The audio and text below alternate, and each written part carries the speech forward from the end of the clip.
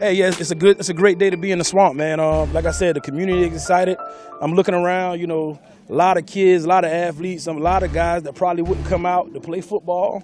I mean, I'm looking at a, a lot of good-looking kids, man, and um, Mike Williams, you know, he did this at the right time. I mean, the community is thankful, thankful for him. Lake Marion High School is thankful for him, and you know, he's, he's done a lot. You know, so we're just happy to get this camp on the way, and we're gonna we're gonna rock and roll today. This is gonna this is gonna be a day of fun.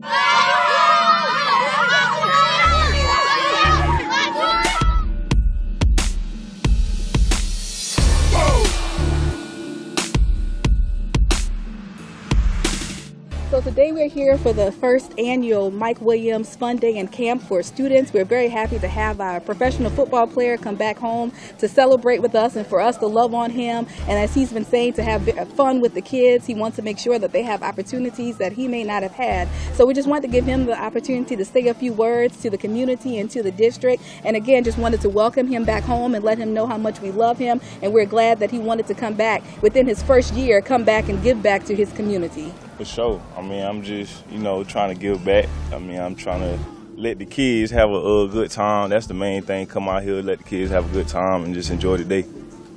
Well, we thank you and we appreciate it, and Appreciate certainly it. anything that we can do to continue to make your career a success, we will mm-hmm. do it. Appreciate it. Appreciate it.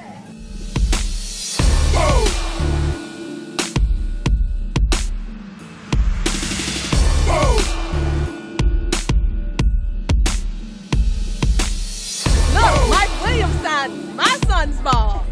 So that means he's NFL bound.